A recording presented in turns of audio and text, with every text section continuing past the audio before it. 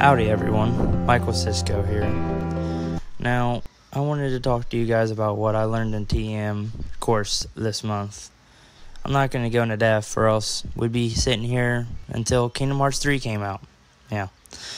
Now, I learned that researching and networking is going to be part of my everyday life, day in and day out. Waking up, researching the latest games, updates, and then networking myself to show people what I'm working on, show people what's going on and how's it going. And then networking with making connections and finding the opportunities to get my games out there, to get the publicity out there. With that, I need to look to the future of my industry while publicizing myself to finding the right way to network and get my publicity out there, to find ways to get my games out there to the people for them to see and preview and possibly demo. Then I'm going to be working hard updating everybody on my projects so everyone follows me, so everyone keeps up to date, so that they really get uh, intertwined into the journey and finding out what this game's going to be and really looking forward to buying it or playing it.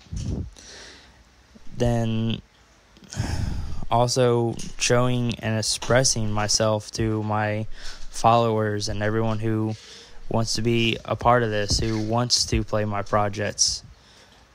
Really connecting with them so they feel connected with me. So we all feel like one big gaming family. And then using that, all of that, I'll have a better understanding and approach with this future using the skills to read everything I write out, read all my courses thoroughly through each project and each assignment I have to do. And then just as I'm working through it, going over it multiple times to ensure that it's the best that I can put out and really detailing everything to get the best grade possible and the best quality in my projects. Then with my enhanced skills of research to be able to cut down the times that it takes for me to research everything to actually so I'm not spending one hour researching something. I only have to spend like 20 minutes on it to be able to really utilize a lot more of my time better. Then, with all of this, for future TEM uh, classmates, for future colleagues in general just need to read everything in it. The rubric, read every little thing to the last period, the last letter, just so you can really make sure that you're getting everything understood. Because you don't want to miss something. And with that, you also want to let your creativity fly.